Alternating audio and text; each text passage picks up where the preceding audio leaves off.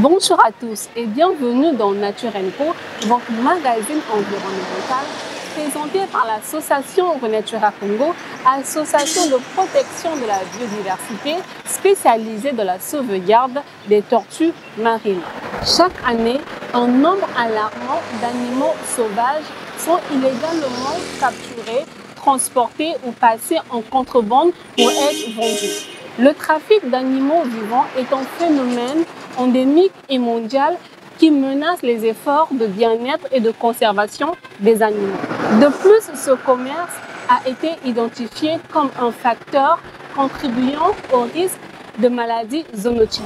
C'est ainsi qu'à travers le projet CARE, financé par le Bureau des Affaires internationales de stupéfiants, de détection et de répression du département des États-Unis, communément appelé Le Fonds international pour la protection des animaux, en collaboration avec l'Institut Jan Goudal et l'Agence congolaise pour la faune et les aires protégées, ont mis en place des formations à l'endroit de plus de 100 agents de première ligne afin qu'ils acquièrent de nouvelles connaissances sur la manière de gérer les animaux confisqués vivants du trafic illégal. Après la formation qui s'est déroulée du 9 au 10 mai à la direction départementale des eaux et forêts de Pointe-Noire, c'est au tour de la direction départementale des eaux et forêts du Puilou de bénéficier de cette formation le 11 février. C'est avec grand plaisir que nous recueillons les avis des participants de cette formation.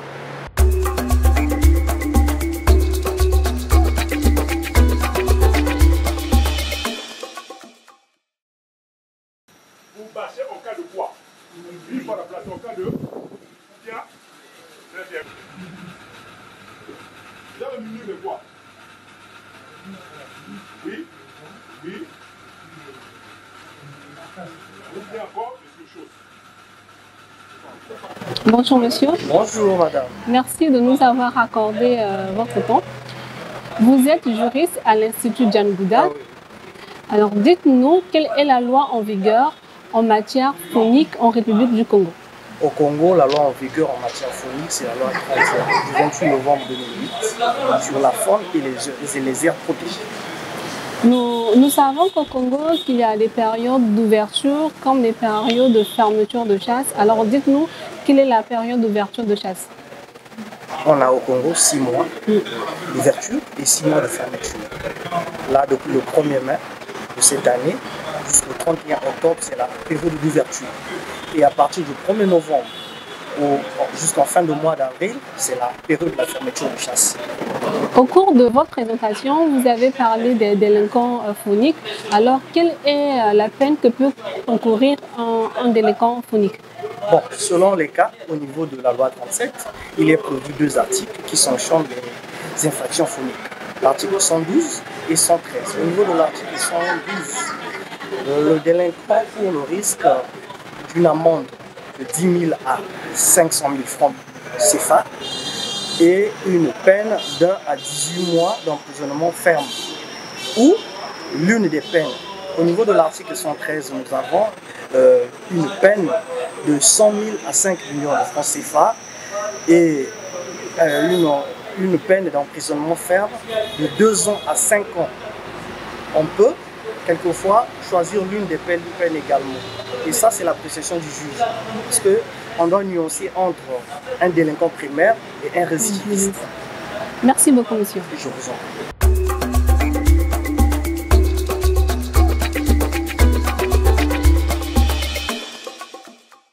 Bonjour, monsieur. Bonjour. Vous avez pris part à la formation. Ah oui. Pouvez-vous nous dire comment se fait l'identification d'un animal capturé? Euh, L'identification euh, d'un animal capturé se fait selon ses caractéristiques physiques et euh, ses catégories. Euh, Monsieur, selon vous, quels sont les aspects les plus importants du bien-être d'un animal? Les éléments les plus importants du bien-être d'un animal, Mm. euh, l'absence de la faim, Mm. la peur, la liberté et l'expression. Merci beaucoup, monsieur. Merci.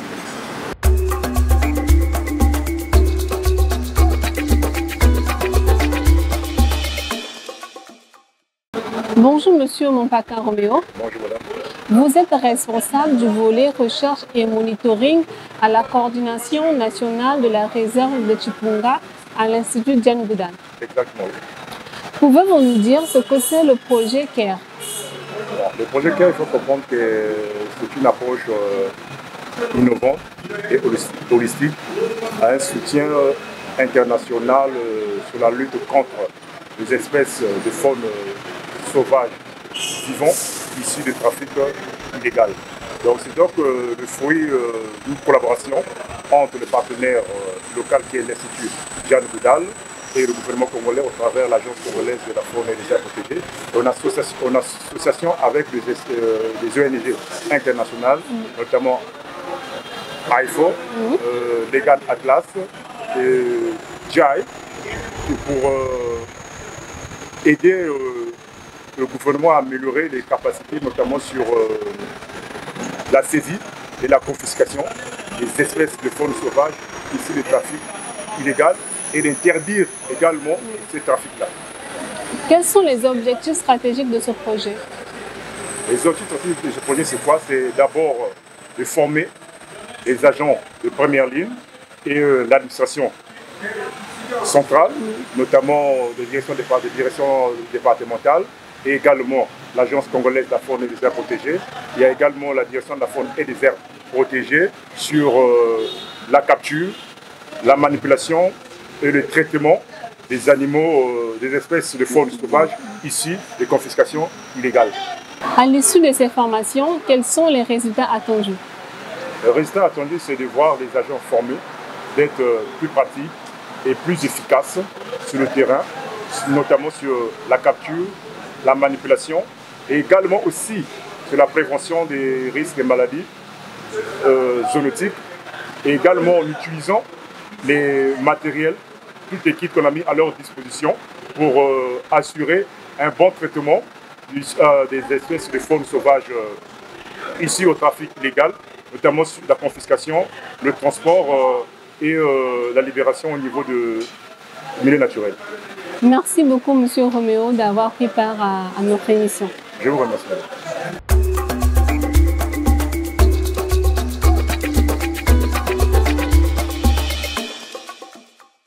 Bonjour Monsieur. Bonjour. Merci d'avoir accepté de répondre à nos questions.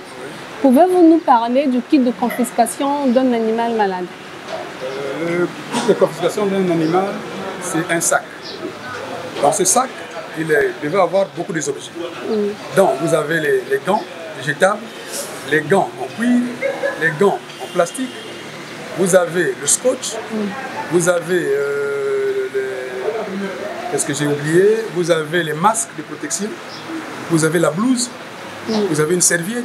Alors, donc, avec ces objets-là, ça te permet de pouvoir capter l'animal et vous choisir pendant la confiscation. Alors, quels sont les risques euh, de maladies zoonotiques que peut encourir un éco-garde lors de la confiscation d'un animal malade? Les risques sont les maladies zoonotiques que, que- que peut contacter un écogarde sont la tuberculose, la chlamydiose et les maladies intestinales. Et en dehors des maladies zoonotiques, là, vous pouvez aussi avoir des, des, des- des- griffages des animaux. Vous avez on peut avoir aussi des contacts physiques des animaux. Voilà les risques pour écogarde. Euh, Nous savons que, que nous, les Congolais, généralement, nous, nous confisquons euh, des animaux chez nous, des animaux qui sont même protégés.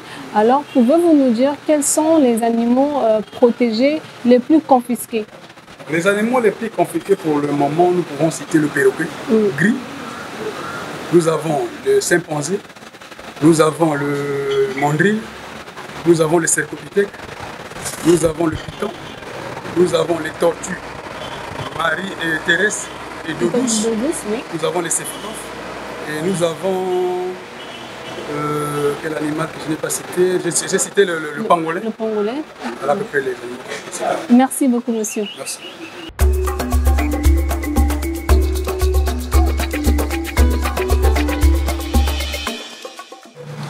Bonjour, monsieur Armel Aubé. Bonjour madame. Vous êtes chef de service de la valorisation des ressources forestières du Quilou. Quel est l'intérêt pour vous d'avoir pris part à cette formation? Euh, Cette formation nous a permis de tirer beaucoup d'enseignements, tant sur la confiscation, la manipulation et le transport d'animaux vivants. Merci beaucoup, Monsieur Obé.